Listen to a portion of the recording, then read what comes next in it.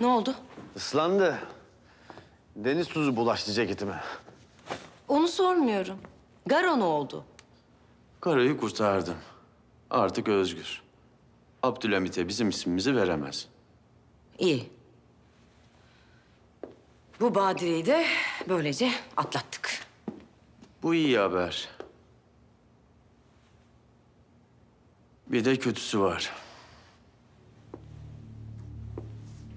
Samuel. Ölmüş.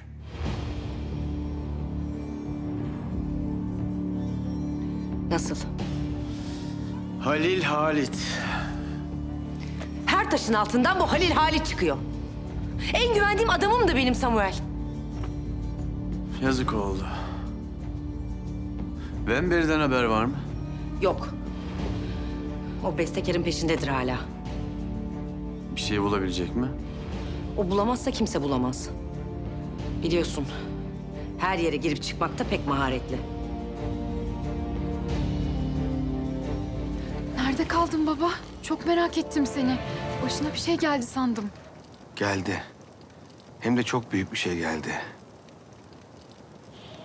Osmanlı'nın büyük sırrının galiba nerede saklandığını artık biliyoruz.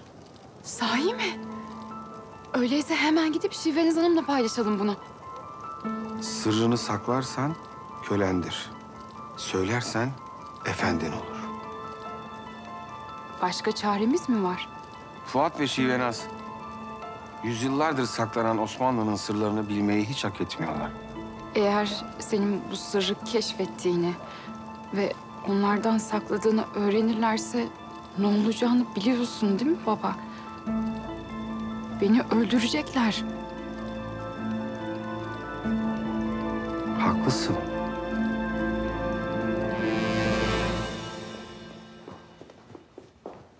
Efendim, saraydan bir ulak geldi.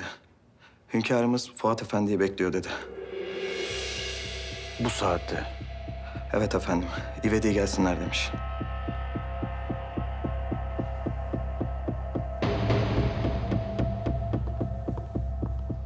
Neyle alakalı çağırıyor olabilir? Bilmiyorum.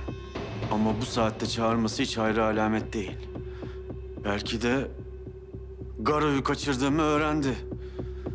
Ona ihanet ettiğimi anladı. Boğazıma bir ip geçirip beni asmak için çağırıyor. Saçmalama. Alt tarafı bir ulak gönderdi kapına. Abdülhamit'in öyle bir niyeti olsa askerleri yağardı kapıya. Bir şeyle ilgili fikrini almak istemiştir herhalde. Git hemen öğren. Fuat.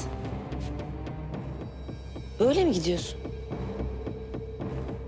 Üstünü değiştir hemen. Yüzündeki şu ifadeyi de sil. Kabahat işlemiş çocuk gibisin. Abdülhamit'in suçlu olduğunu anlamak için yüzüne bakması yeterli. Bir şey bilmesine gerek yok.